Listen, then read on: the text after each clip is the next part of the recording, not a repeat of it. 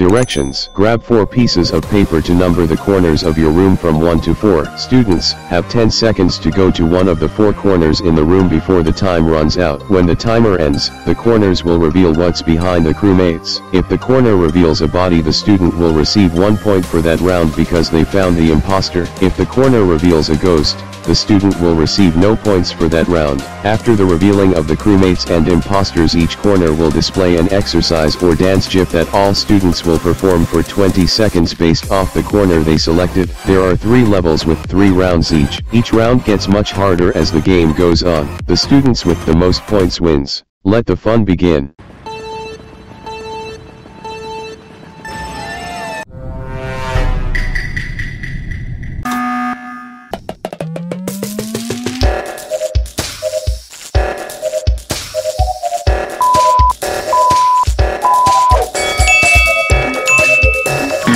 Yeah.